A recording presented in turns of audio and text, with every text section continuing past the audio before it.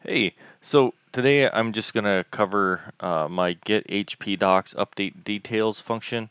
Uh, it's kind of a long name for a function. If I were to go back, I'd probably redo that, but whatever. Um, so in this test, I've got a HP USB-C dock generation 5.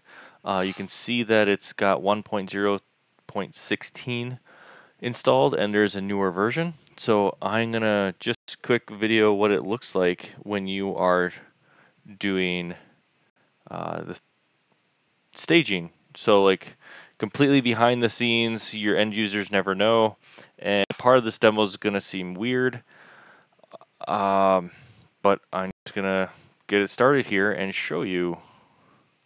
So we're gonna, uh, my function has already been loaded into the computer. So now I'm kicking it off. Um, this here just takes a few moments and it goes.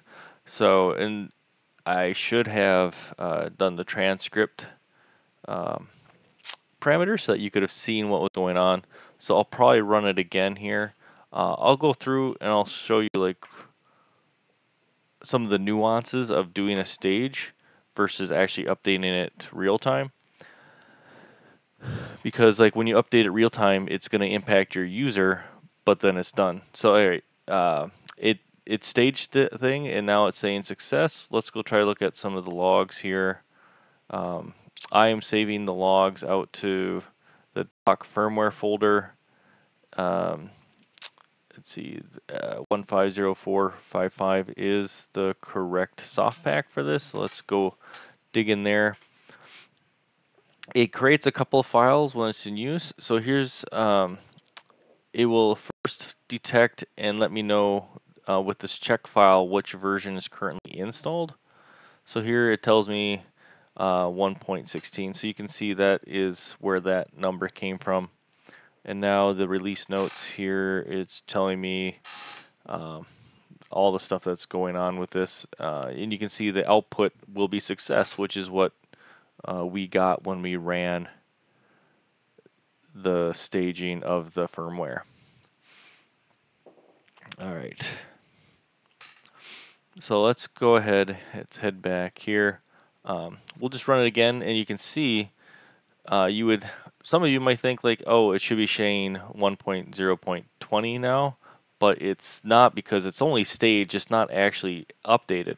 So I'm going to go ahead and run it again. It doesn't hurt to run it and stage it again, but this time I'm just going to run it with the transcript uh, parameter so you can see what's going on. And here it's telling you that it's already downloaded that SoftPaq.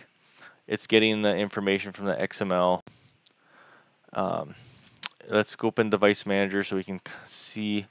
So typically what I do for is I look um, network adapters, and then I know the Realtek USB is the dock. Um, that's one of the options, so I'd like to just keep that up so I can see what's going on. If you watch my other demo, you'd see that disappearing and coming back like a ton of times during the update. So here you can see the update was successful.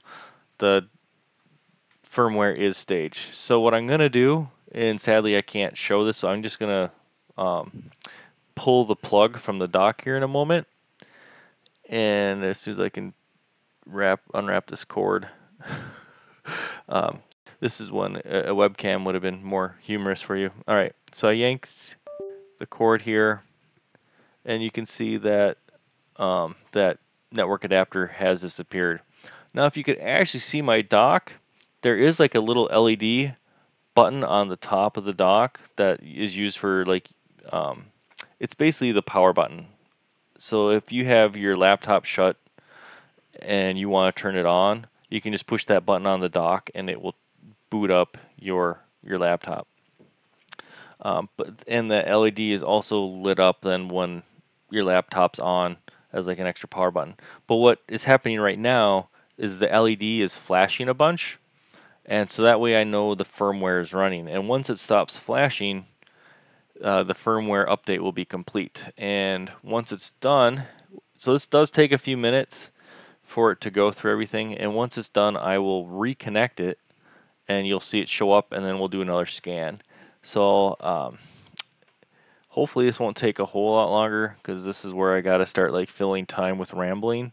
Um, depending on when you're watching it, MMS is this week coming up, so I'm packing for that. This is just a last minute demo for completely separate reason from MMS.